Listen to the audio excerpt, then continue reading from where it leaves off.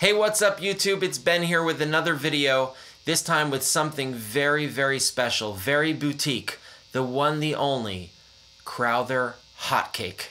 Here we go.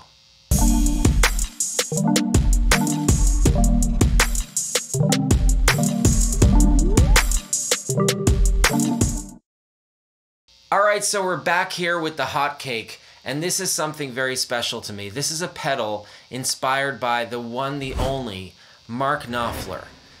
I would say that Mark is the number one inspiration for me to pick up the guitar, and um, one of the most influential people and songwriters and guitar players in my life. So I, when I heard that he has the hot cake, I was like, "What is going on with the hot cake?" And I mean, if you're looking for a boutique pedal, if you're looking for the definition of boutique, I mean, this is boutique. You got to check out the video of Paul Crowther. I'll link it in the description below. But I mean, he goes into how he makes this in his kitchen. I mean, quite literally. But he puts his heart and soul into every single circuit he puts into the pedal. And uh, I mean, it's amazing. It really does have a special vibe, a special sound to it. I'm loving it as my second channel of the amp sort of sound. It's perfect for the neck pickup, for nice, cleaner lead passages. I'm just really loving the liquid flavor that I'm getting from it. Really is like hot cake. Um, so the name is really great. Kudos to Paul Crowther. I really, I'm loving what you're doing. Um, it's funny enough, he's a drummer, but you never know where amazing things come from. So uh, thank you to Paul for his amazing pedal. And I'm by no means sponsoring anything. This is just me giving an honest opinion, but it's on my board and it's there to stay. It's something special and it really gives me that vintage vibe. So uh, I'm excited to show it to you now. Um, before we do, let me just give you my clean tone for reference. Um, as you can see though, it's hidden on the bottom shelf. You're probably wondering, how am I going to see what you're doing to this pedal? Well, I will tell you. My wife is a genius, and she gave me a brilliant idea to remove the screws on my uh, top shelf here, and that way I am able to bring it down to reveal everything that's going on. Isn't that awesome? So uh, let me just turn off my 60 cycle hum here. Um, so yeah, so really cool. But before we get into the hotcake, just want to show you my clean tone for reference. And the signal chain, I am playing my Suhr Standard Plus here.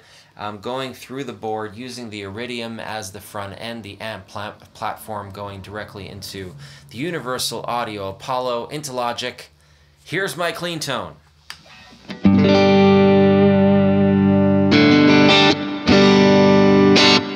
As you can see, I have a little edge of breakup, as they call it, um, and I'm using the Vox AC30 circuit.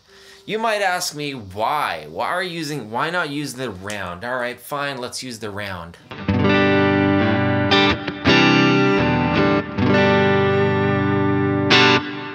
I love the round. It's a deluxe reverb. It's an amazing, amazing amp tone.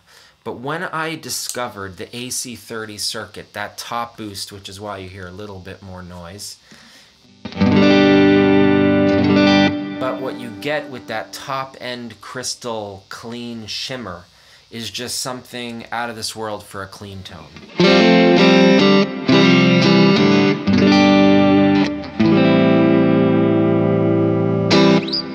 Loving it. Um, now, Interestingly enough, with the hot cake, it is a big topic out there that the hot cake sounds best in front of an AC30 circuit. And it's quite inter- interesting. It's quite interesting. When I got the hot cake, I was actually using a Mesa Boogie Mark V amp. And I never really got to hear it in front of anything other than that circuit. I never got to hear it in front of anything other than that circuit. And um, then I hear people talking about how it's best in front of an AC30. I had no clue what they're talking about, but then I got the Iridium. And the Iridium opened me up to be able to have these unique tone stacks, these different flavors. And now I see what they're talking about. The hot cake is best in front of an AC30. And I'll show you how that works and that it's the truth. All right, so here on channel one on my controller, we're actually going through the RC booster into the SUR compressor into the Iridium, but instead on channel two, it turns off the compressor, only the booster into the hotcake. So now you're gonna hear the hotcake. I'm gonna turn everything to 12 o'clock, and here we go.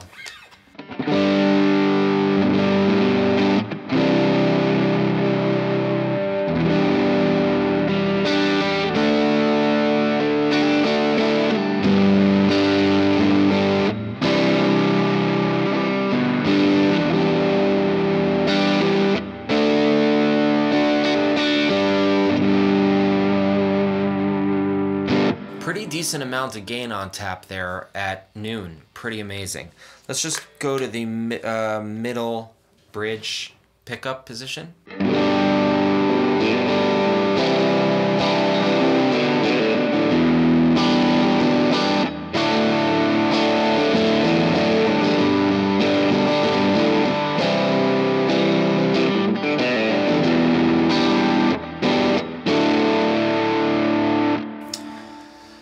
Great sound at noon uh, in its natural position, but let's just play around with some of the settings. So the level, of course, is as it sounds level, but it actually has quite a bit of volume there. So let's back down the gain and see what happens when we push this thing. Very nice. That's clean. That's hotcake boosted, but let's, without any drive, let's bring down the level.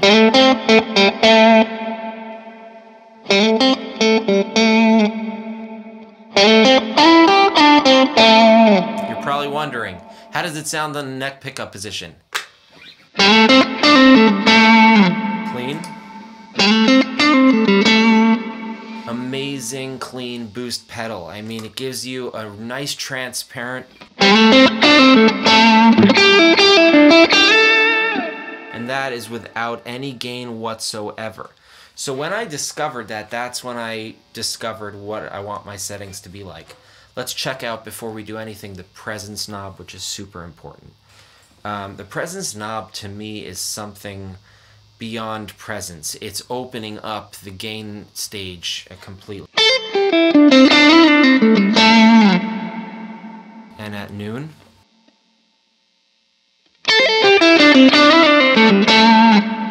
Get ready.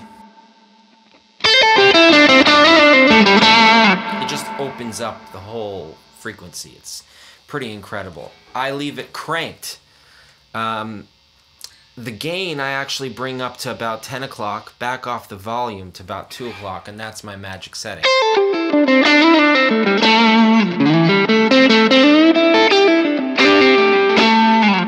Funny enough, um, I love playing a piece of music I heard on the Mesa Boogie website back in the day, um, which was just very tube-like tone.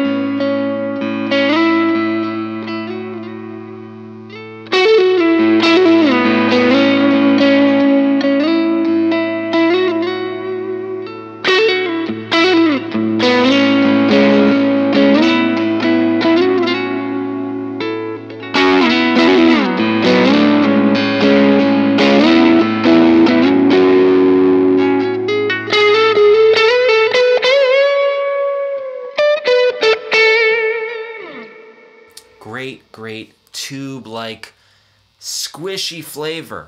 Um, let's just see what the drive knob does do beyond 12 o'clock. Let's bring back the volume, leave the presence crank. Really um, creamy, as it says plus cream, without the plus cream. With cream. Interesting. I sort of like it without.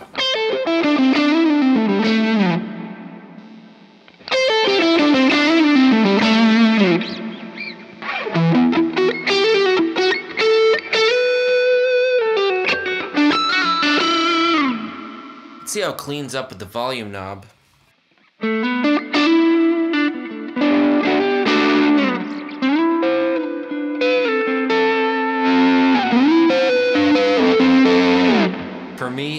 Too much gain.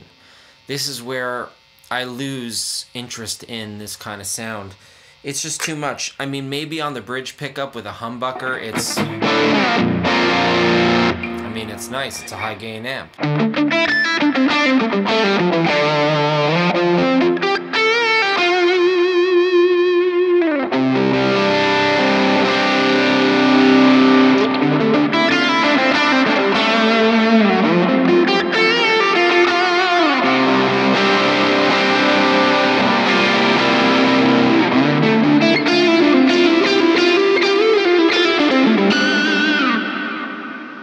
Once you get to that neck pickup position, I feel like it gets a little bit too muddy for me.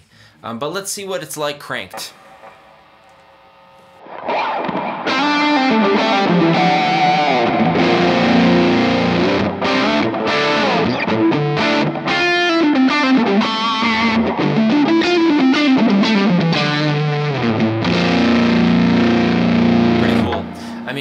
Pretty cool. People do say it's fuzz-like, and I can hear that.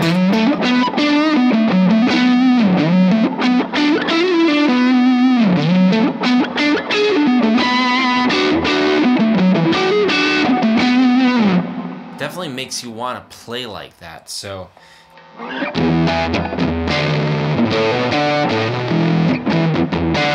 But it does get very muddy. As you can hear, I feel like it just loses a lot of that definition and clarity once you crank the drive. So for me, my setting, as I could show you right here, as I would love to share, is really cool actually, and it works nice. So it's always easy to find. One thing I want to highlight why I love the hotcake is the dynamics that you get that how you could play quietly um, how you could just play any way you want and you'll get a different flavor. Play soft.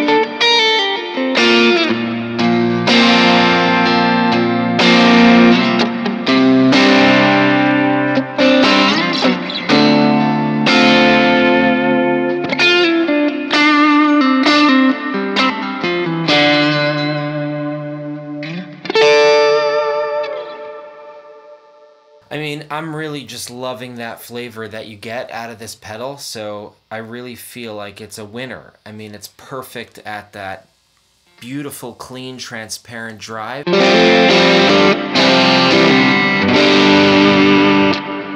do I know it's transparent? Because...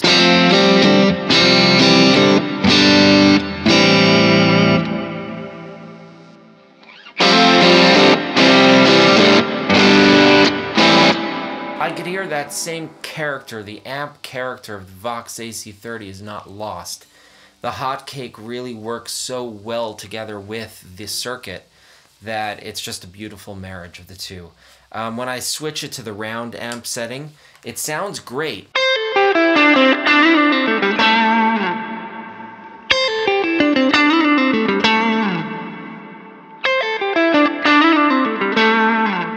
It does its own thing. I mean, it's just, I feel like a little bit more mid-range, doesn't give you as much of those high frequencies um, and those high-end harmonics that you get out of the AC30, but it has its, its, it has its place. It's definitely a good sound, and the round amp itself is an amazing model, and you could check out a, a video that I just did showing how I made a song, a playback, using just the round amp model. So I really love it. But for me, the the place that I love using the hotcake is on my chime setting.